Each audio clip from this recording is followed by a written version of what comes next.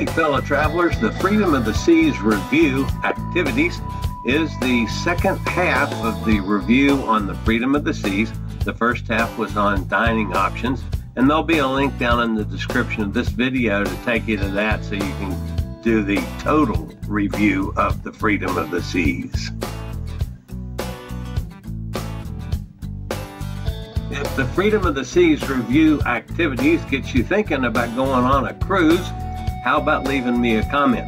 And you know, if you'd like to keep up with travel industry news and maybe find a cruise bargain in the future, just hit the little subscribe button in the lower right hand corner at any time during the video.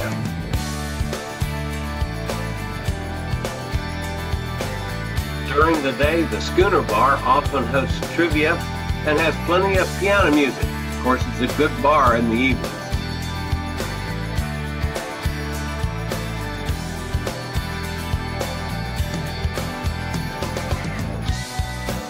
Royal Promenade on the Freedom of the Seas is like a Jagunda shopping mall, and there'll be sales pitches at every turn.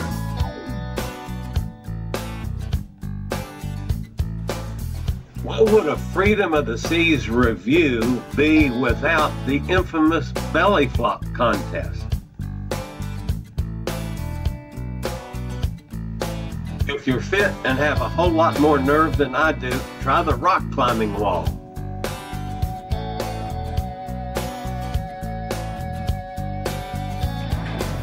Lively music and Latin style dancing can be found in Boleros. Bull and Bear Pub also has live music. Star Lounge on Deck 5 is the secondary show lounge. There's something going on there all the time.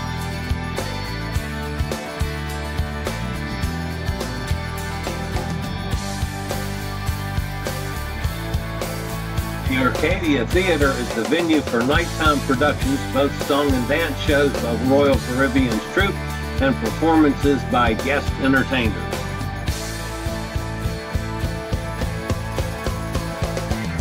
Careful, you might find some DreamWorks characters at just about any time.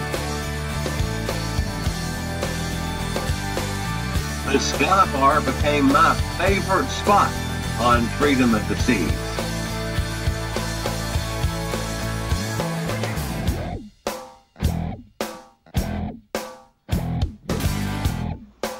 The solarium, you'll find two cantilevered whirlpools, meaning they hang over the side of the ship, offering terrific sea views and wide panels of glass give an incredible view of the ocean directly below.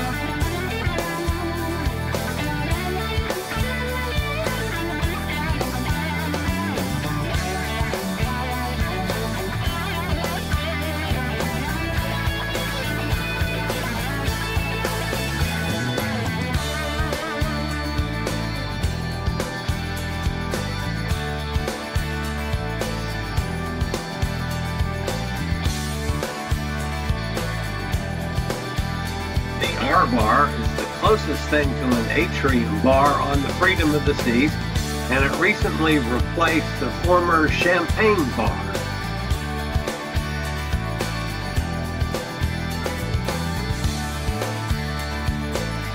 Squeeze on Deck 11 started off as a juice bar. Now it's a full bar with juice.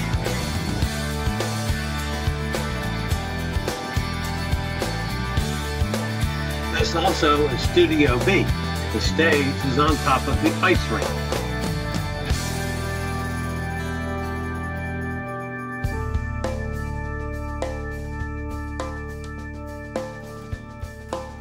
If you've enjoyed the Freedom of the Seas activities review, please hit the like button.